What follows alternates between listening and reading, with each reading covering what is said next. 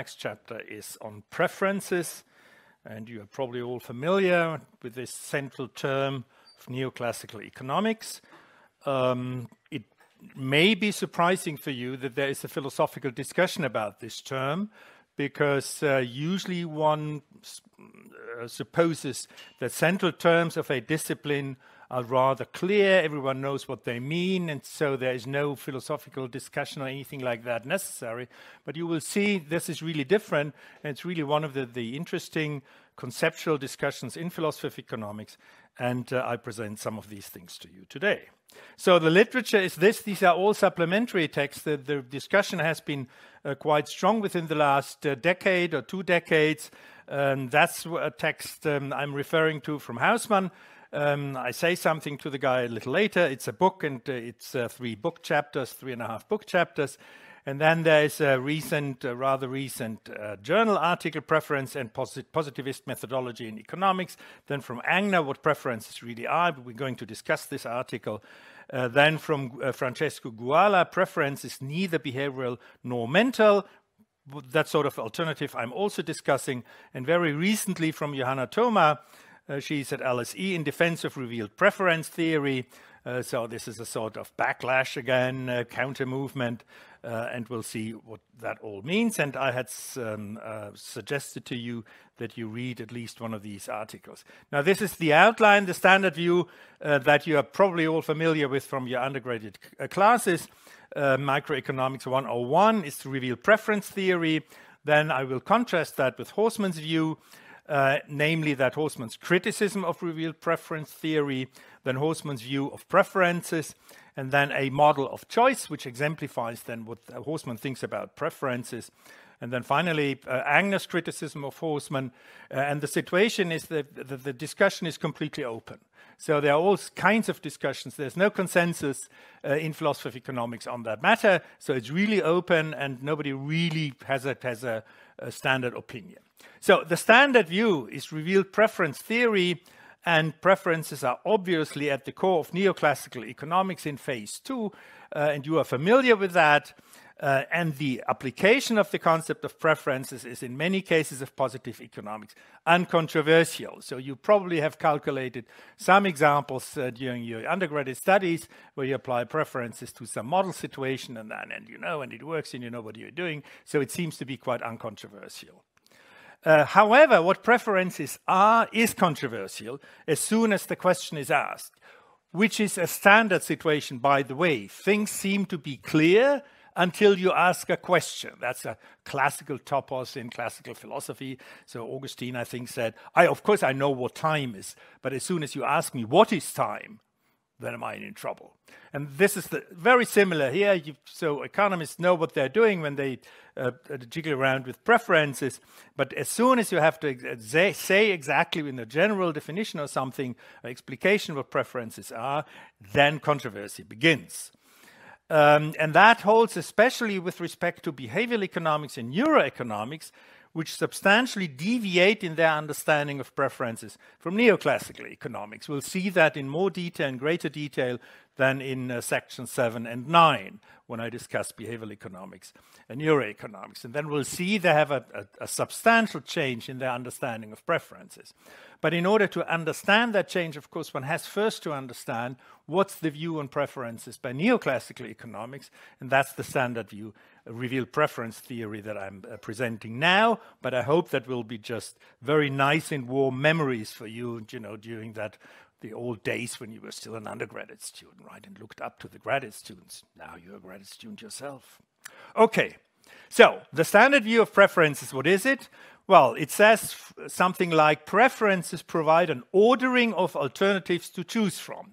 So, for instance, in consumer theory, from a bun from bundles of goods, and these alternatives uh, they describe which alternative an agent would prefer in comparison to the other alternatives. So the agent gets a certain range of alternatives, and the preferences say, describe, express what the agent, how the agent would choose.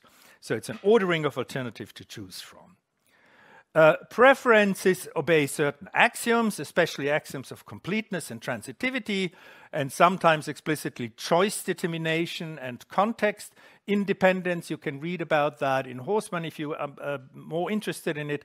Uh, those of you who are not that mathematically minded will not uh, have loved these axioms, but if you look at the mathematical formulation of neoclassical economics, of course, they're absolutely central. Um, preferences can, under certain conditions, namely if they, if and when they fulfill certain axioms, can be represented by a utility function. And the utility function is also something very practical because then you can describe in standard neoclassical economics agents as rational utility maximizers. So you can say how someone who has certain preferences will choose because the agents will, in standard assumptions of uh, neoclassical economics, rationally maximize utility. Okay. Now, it's very important that you remember that the rationality concept there is minimal. So when economists speak about rationality, they have a, typically in microeconomics a minimal understanding of rationality, which does not cover all the uses we have in everyday life in other contexts about rationality right? Roughly, it is only that following, uh, obeying the axioms averts money pump situations. That if you just uh, follow the, your preferences, that you lose all your money. That's forbidden if you if uh, you have especially transitivity in the axioms. But that's of course not all. Being rational concerning money does not only mean that you just don't want to lose money. That's not all to it. So be very careful when economists speak about rationality. It's a very restricted meaning. And of course in philosophy of economics that's often um, uh, emphasized, but in uh, usually in economics they just speak about rationality, and economists got used to that use of the term of rationality but it's different from the everyday understanding. Again, this is nothing special of economics. When physicists speak about force, they mean something else in comparison to our everyday understanding. When physicists speak about inertia, they don't mean the same thing as what we mean in, in everyday life by inertia. So it's very typical that fundamental concepts in the sciences are used differently than in everyday life. The only thing is you have to be aware of it, especially when you speak to non-specialists, right? Because if, to, if you speak to non-specialists as an economist and you speak about rationality, then this is the invitation for all kinds of misunderstanding, because the other person will usually then understand rationality in the everyday sense, and that's not identical with the economist sense. All right. So, in, the, in this view, utility maximization and choice are synonymous. That's a citation from a paper, a famous paper by Gul and Pesendorfer, which play, will play a role in chapter 9. I cite it there. So uh, there you find in chapter 9 uh, you, you, find the quote uh, from that book. So, utility maximization and choice are synonymous, which is, of course, first of all, a little disturbing because you think, well, one thing is having sort of preferences, and the other thing is really choosing, and that's called synonymous. Well, that's how economists speak. Um, and there are three important points about this view of preferences that one should know. The first one, fundamental for neoclassical economics, is that preferences are not something mental or psychological. Mental is the standard term in philosophy of mind there. So usually we would say something psychological, so something inside your head, whatever that, wherever that is, right? Inside your head, okay?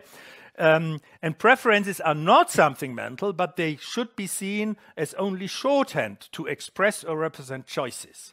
So they are not conceptually different from choices. That's very important because in everyday language, preferences are something else than the choices themselves. Preferences may be, be behind choices or causing choices, but they're not exactly the same. But here in this view, as it is used in uh, economics, they are uh, synonymous, as uh, Gul and Pesendorfer say. And this can be called a behavioral understanding of preferences. Behavioral because the preferences are seen in behavior right? And not in something mental. That's uh, the, the opposing view.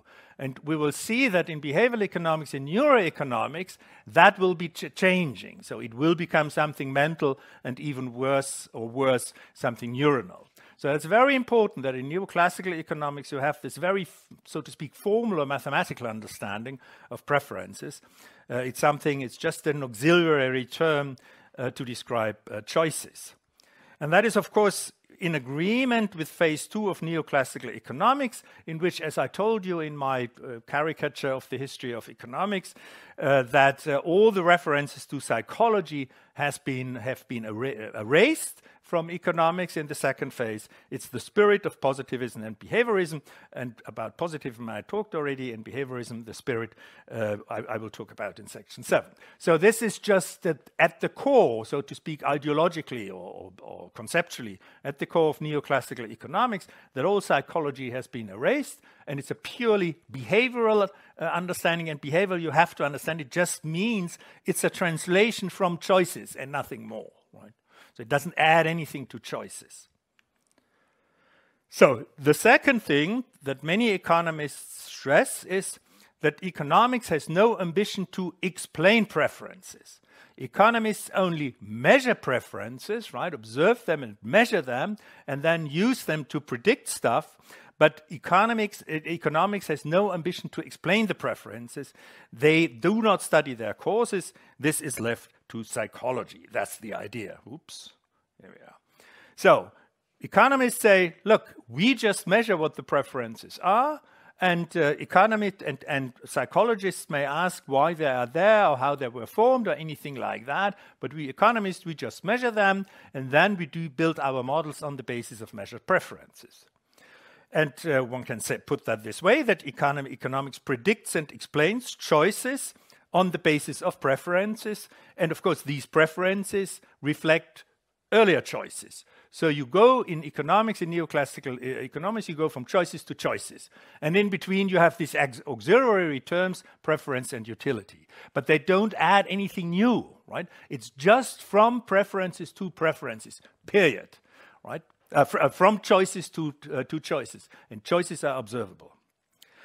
Now, the third point is that's very important, that that became important uh, during the last uh, two, three decades, uh, that people realized that the concept of preferences uh, has no inbuilt selfishness, no egotism, you know, just you just look for yourself. That is not inbuilt. In many models, of course, it is used that way, but it's not a conceptual part of preferences. And you see that, for instance, during the last two decades, there was much discussion about other regarding preferences. And there can be other regarding preferences of various kinds. For instance, you may have preferences that are in inequality averse. So you do not choose something that increases the inequality to other people in the same sort of situation or game. So that may be your preference. So in other words, if you translate, preference is just a translation from choices. Your choices are such that you do not disregard others, especially you do not disregard if the inequality between you and the others will increase. So, and if you, there are people who want to avoid that, and then you can describe that that the preferences are other regarding. So it's very important because sometimes perhaps only undergraduates uh, from bad universities, so none of you, I guess, uh, think that preferences are just always egotistic. It's always me, you know, I'm, I'm, it's me and, and only. That's not inbuilt in the concept of preference.